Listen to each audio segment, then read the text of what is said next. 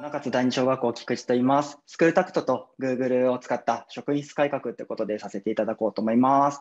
で前半部分なんですが、スクールタクトを使ってですね、3コース自由振動学習をやってきました。で、どんな風にしたのかっていうとですね、こんな風に、えっと、前の方の白いテーブルですよね、座ってる子たち、3つあるんですけど、この子たちは先生と一緒にお勉強したいよって、まあ、通常のお勉強と非常に近い感じかな。友達と相談したりとか、あと、まあ、えっ、ー、と、まあ、自分でノート書いたりとか、先生の話聞きながらっていうようなグループです。基本自分で選んでます。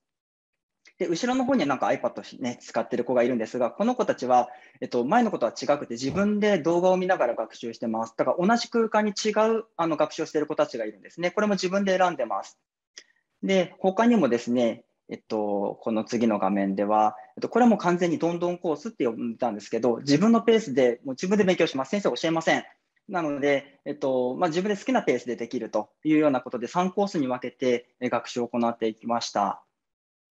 こんなふうにスクールタクトにですね、単元ごとに教材というかな、用意しました。ドリルがあったりとかですね。で、自己評価のところもですね、学習が終わると単元が終わると、まあ、常にこう子どもたちに伝えておいた、まあ、目標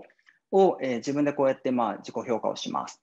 で、さらに学習計画ってことで、単元が始まるときに、この時間は何時間計画だよ。で、どんなことに力つけてこうねとかって話をしてあるので、じゃあ僕は1時間目は先生と一緒にやろうかなとか、途中でビデオコース選んで、最後じゃあ自分でやってみようかなとかって自分で選ぶと。で単元が終わると右側に書いてあるように、自分で自己評価をします。